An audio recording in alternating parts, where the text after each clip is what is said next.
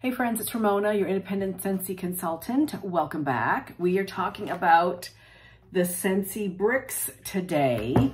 Um, I did receive these last week, but I had to go out of town with a family emergency and I'll be going back out of town towards the end of the week. So I'm going to try my best to get these melted in the next couple of days between all these rooms. So hopefully Thursday I can give you a warm review. I know lots of people have put their videos up already and I just was not able to do that. But anyhow, we're back today.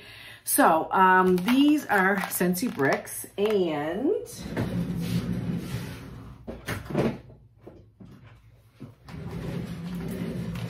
this is a Scentsy bar if you don't know. And there's about five and a half times as much wax in a brick as there is in a bar. So usually in um, uh, the holidays, in the winter holidays, Scentsy comes out with some brick collection, some holiday bricks. This year, they offered the bricks to the consultants a month ahead of time so we could melt them, smell them, let, let you guys know what our thoughts are, make samples for our customers, things like that.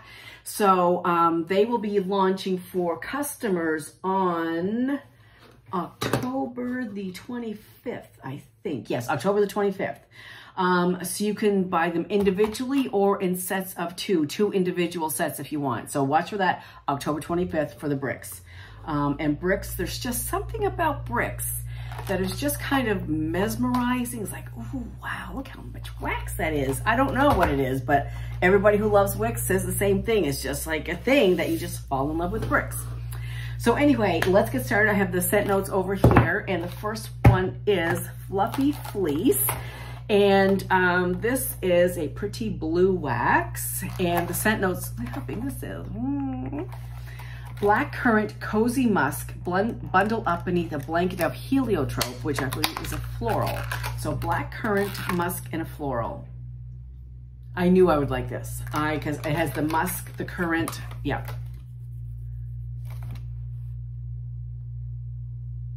I'm definitely getting the cozy musk. It's not like a dirty musk. It's not really deep and, and sultry musk. A little bit of a light floral, not a heady floral, not a rosy floral. Very light, um, almost like a green, like maybe like a white floral that aren't too, that aren't too uh, perfumey. Almost like uh, Lily of the Valley is a white floral and it's a light floral. That's really nice. A little bit, I don't get a whole lot of the black currant. Uh, maybe I will on warm, but right now I'm kind of getting a light musky with a light floral. That's very nice. It's The musk makes it kind of cozy, just like it says cozy musk. Cozy musk.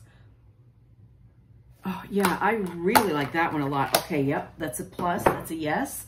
Next is Pink Poinsettia, and this is a very vibrant, like magenta fuchsia color.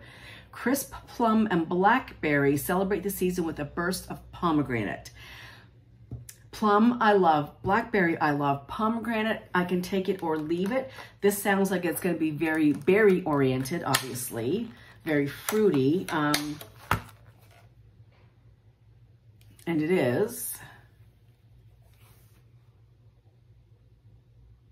I like it. I don't love it. I wish there was something in there to balance out all the, the fruitiness. The plum, the blackberry, pomegranate, it's a very fruity blend.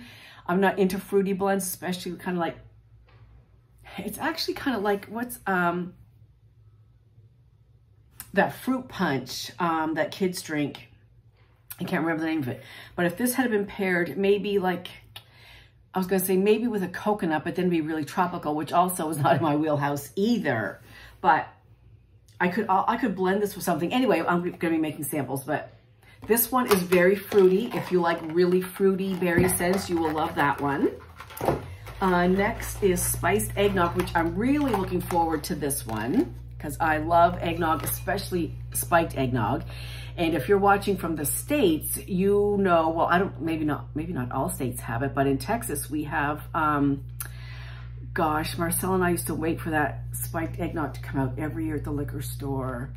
Um, Pennsylvania Dutch, Pennsylvania Dutch spiked eggnog. Yes, ma'am. It was good.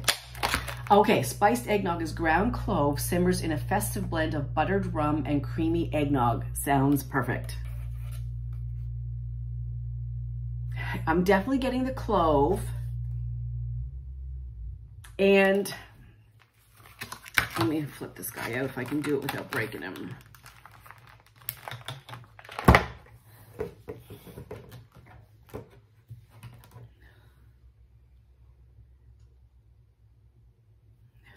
I'm getting the rum and a creamy note. It's not exactly like if you had opened a bottle of eggnog, it's not exactly like that, which, which I was really hoping for. However, I do get all the notes they say. I get creamy, I get clove, I get buttered rum. So hopefully when I melt it, it will come through as more of a true eggnog scent. Um, and I'm in Canada and I don't know, this is my first winter here in 32 years. So I don't know if they're going to have a spiked eggnog in the liquor store or not. I'm really hoping so. Okay, sweet orange pomander is like a really deep, like terracotta orange. Sparkling clove and cinnamon stick adorn sweet orange in a dazzling display. I can smell the cinnamon already. Yeah, it's very heavy on the cinnamon. Like a red hot cinnamon. Um, am I getting sparkling clove? And sparkling, that word sparkling to me is going to mean it's effervescent and it's not. I do get the clove. I get a very sharp cinnamon, red hot cinnamon. I don't care for that. But I do get a little bit of orange. So um, hopefully the orange would come out. Now, would this be a good blender with the pink poinsettia? Because this is very fruity. This has some cinnamon and clove in it. So maybe they would like to balance out each other. The fruit would tone down the cinnamon, the cinnamon would tone down the fruit. I don't know, we'll see. And then finally, we have vanilla cinnamon maple. This is cinnamon stick warms buttery maple atop a mountain of whipped sweet cream. Oh yeah, I do get the maple. It took a minute. I do get the maple a little bit, it's a creamy maple. I get the sweet cream business. I, I'm not getting a whole lot of cinnamon stick on cold. Very, very slight cinnamon. Uh, definitely you get the maple in here though. So that one is good too. Um, so I like all of them. I would have to say, I would have to say that Fluffy, Fluffy, Fluffy Fleece is number one. Then I would say that spiced eggnog is number two. Then I would say that vanilla cinnamon maple is number three. Um, this one, the sweet orange pomander, it's red hot cinnamon. If the orange comes out in here, I would really love that. So I'm hoping on warm the orange comes out. So this one, I mean, right now, I right now, even though I don't really love fruity scents, I mean, it's okay, but I don't, I mean, the summer fruity blends are not really in my wheelhouse. However, I like the black, I can definitely, I can definitely smell the blackberry in here. So because I can smell blackberry and because all I smell in here is red hot cinnamon, this is number four and this is number five. Now, when they melt, we'll see what happens. Um, I, as I said, I am going to start melting them this afternoon so I can get a head start on them because I do have to leave town again to go home uh, to where my mother lives. Um, so I will try to get that video up before I go. Also, I have a ginormous box out there uh, with my holiday haul, holiday collection haul. So uh, I think I'm going to probably do, I'm probably going to put some wax in, get the wax going, and then I will do my holiday collection haul. And um, so you will see me in the same clothes and I'll probably post that uh, later today or tomorrow. So that's it for now, everybody. So October 25th, that's the day you're looking for to get your bricks. Uh, if you have any questions, let me know and I'll see you soon. Bye.